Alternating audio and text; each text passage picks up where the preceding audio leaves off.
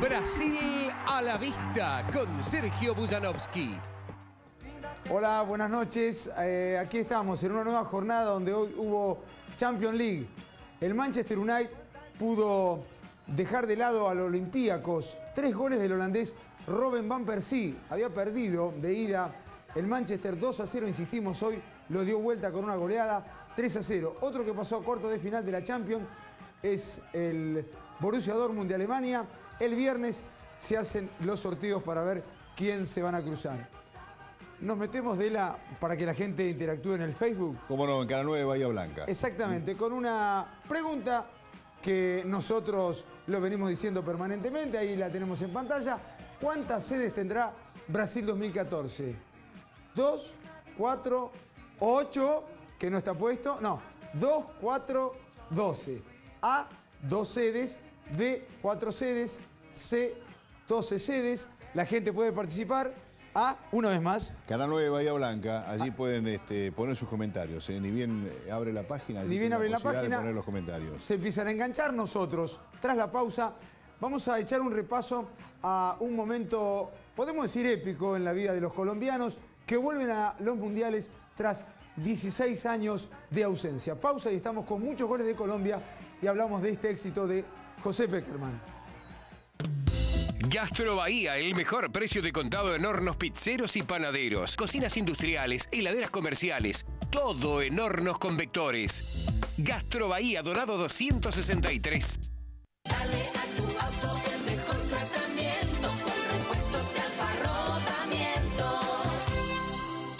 1978, Bransen 350 y venta mayorista Dorrego 555. El Exen, alquiler de grupos electrógenos para industrias, obras, eventos sociales, motocompresores, plataforma para altura, servicio de traslado a todo el país Avenida Allen 1836. Tres farmacias al servicio de tu salud. Atendemos horario corrido. Farmacia del Ángel, Nicolás Levalle y Ecuador, Villarrosas. Farmacia Austral, Teniente Farías 663. Y Farmacia Astral, Avenida Colón 652.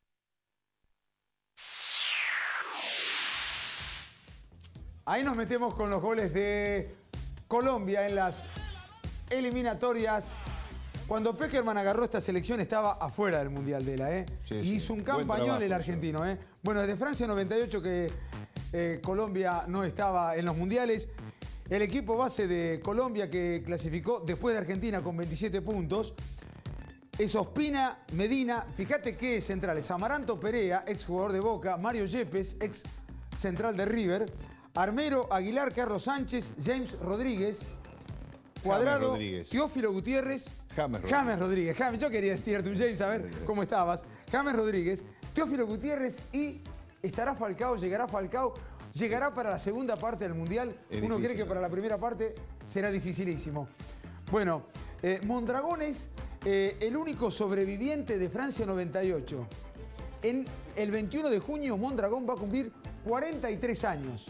Aún está atajando, Mondragón. Seguimos viendo goles de las eliminatorias.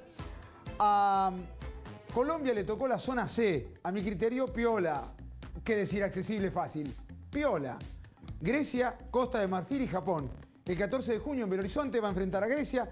El 19 de junio en Brasilia ante Costa de Marfil. Mientras que el 24 en Cuyabá. Ahí hace más calor. Pero ¿qué le vamos a decir a los colombianos del calor cuando en No Barranquilla tienen siempre 30 35 de temperatura? Van a enfrentar a los japoneses. En el 98, insistimos, fue su último mundial, lo, diría, lo dirigía el bolillo Hernán Gómez. Una sola victoria, no pasó a segunda ronda, una sola victoria tuvo en el 98 el equipo cafetero. Ante Túnez había ganado el equipo que, insistimos, dirigía Hernán Darío Gómez. Una notable ausencia hasta ahora después de la rotura de ligamento de Radamel Falcao, que está haciendo todo lo posible, al menos ahora ya, ya está de pie, está haciendo las recuperaciones, ahí lo tenemos, al Tigre Falcao, que es una baja tremenda.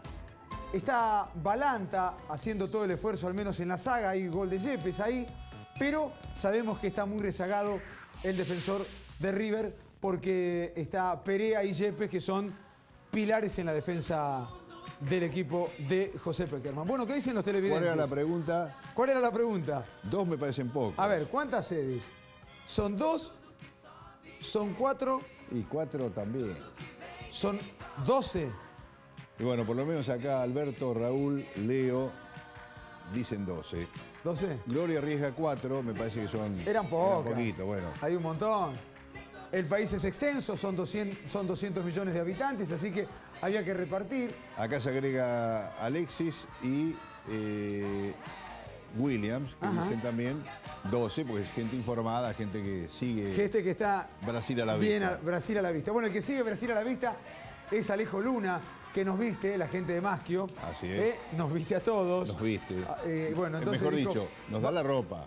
Claro, sí, sí, no, tampoco nos viste. No es, que, va- no es que vamos desnudos hasta Masquio, ¿no? Alejo Luna. ¿Cómo ex- estará preparándose para el clásico ahora, Alejo? Eh? Estaba nervioso, hoy Estaba estuve con él al mediodía, estaba nervioso, fanático de Sporting, Alejo. Así es. Eh, estuvo como dirigente durante muchos años, ahora eh, lo único que hace es intentar ponerlos lindos. Pero como yo le dije un día, Alejo, aunque a la mona la vistan de seda, mona queda. Bueno, el que sigue elegante es Néstor de la Iglesia, nosotros hacemos lo que podemos.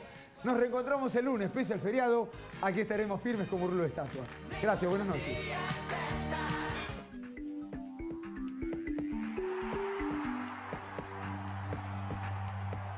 Esto fue Brasil a la vista.